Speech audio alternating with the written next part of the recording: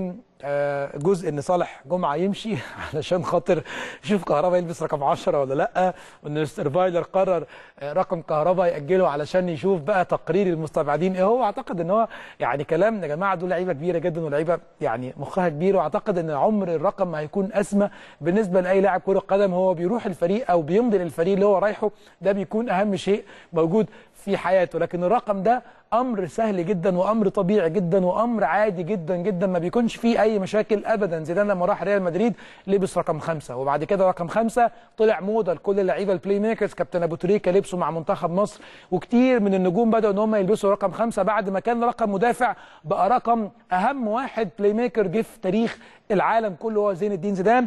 أما بقى رقم أربعة اللي لابسه محمود متولي ورقم 12 اللي لابسه أيمن أشرف ما أعتقدش إن لاعب بحجم كهربا إن هو ممكن يطلب حاجة زي كده أو يبقى موضوع الأرقام هو سبب في يعني زي كده كلام أو رغي كتير ممكن يتقال جوه غرف خلع الملابس للنادي الأهلي. كهربا جاي عنده هدف واحد يلبس اللي يعني يلبس أي رقم يلبس اللي يلبسه لبس واحد لبس صفر لبس 99 لبس 200 كل الأرقام اللي بتتلبس وبتطبع على ظهر لاعب كرة القدم هي ما مجرد إلا يعني إجراء روتيني. لكن المهم التيشيرت هو لابس تيشيرت الأهلي وعليها بادج النادي الأهلي. خلاص كده.